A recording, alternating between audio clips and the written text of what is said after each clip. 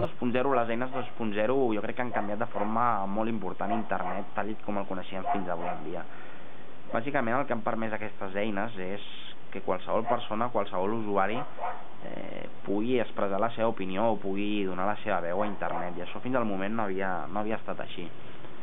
Com a conseqüència, el que ha passat és que aquestes persones que de forma individual estaven expressant les seves idees s'hagin començat a interrelacionar i hagin començat a formar el que coneixem xarxes, eh, el que coneixem avui en dia com a xarxes socials. Eh, el 2.0 està introduint canvis molt importants, però jo crec que si haguéssim de destacar un per sobre dels altres seria el que fa referència al coneixement. Eh, el, el, el model de coneixement, el paradigma de coneixement, tal com el coneixíem abans d'internet, està canviant de forma absoluta.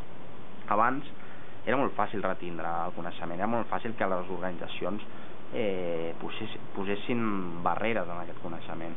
Això amb internet eh, és impossible. El coneixement està a la xarxa, flueix i s'intercanvia a velocitats vertiginoses. Eh, llavors el repte de futur que tenim com a, com a societat, però també de forma individual les empreses i les administracions públiques també, és mm, entendre aquest nou, aquesta nova forma de fer, aquesta nova forma d'actuar i aquest nou mitjà que és l'internet i l'internet 2.0. Llavors, mm, jo crec que el que cal és un canvi, un canvi de cultura, un canvi que, que serà lent però un canvi necessari.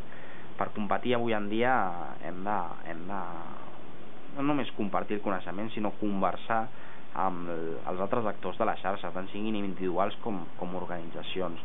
Per què?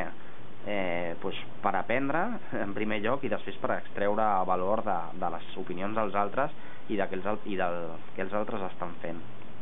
Així doncs, jo crec que, que bàsicament, mm, per sobre de totes les conseqüències que està tenint, la més important és aquesta, no? entendre aquest canvi, eh, entendre que a partir d'ara el coneixement eh, l'hem de, de compartir i és molt fàcil, és molt difícil, perdó, que el retinguem, mm, però l'hem de compartir no perquè sí, sinó perquè hem de ser més transparents i després perquè hem d'obtindre valor i hem d'extreure valor de, del que hi ha a la xarxa, del coneixement que hi ha a la xarxa, de les persones i de les organitzacions que hi ha a la xarxa, per tal de que la nostra empresa o nosaltres mateixos com a persones individuals o les administracions públiques pues, millorin, siguin més eficients i, i donin en definitiva un, un, un millor servei.